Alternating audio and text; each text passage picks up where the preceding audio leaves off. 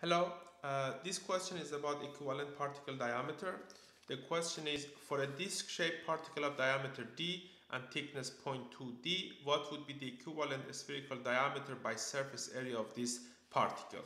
Okay, so if this, let's assume this is our disc-shaped particle, that's the diameter d, and the thickness 0.2 d so the surface area of this disc-shaped particle AS will be equal to 2 times, you have two basically faces at top and the bottom, therefore 2 times pi d squared divided by 4 plus the lateral area which will be equal to pi d times the, uh, the height which is uh, 0.2d okay?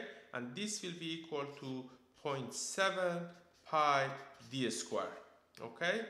And so if you equate this uh, equation now this uh, um, surface area basically by the surface area of the sphere then you can calculate the equivalent uh, spherical diameter. That is the surface area of a sphere uh, with the diameter of ds will be equal to pi uh, ds with the power of 2 that should be equal to the 0.7 pi uh, d with the power of 2. Therefore, ds will be equal to square root of 0.7 times d, which is equal to ds will be equal to 0.83 times d.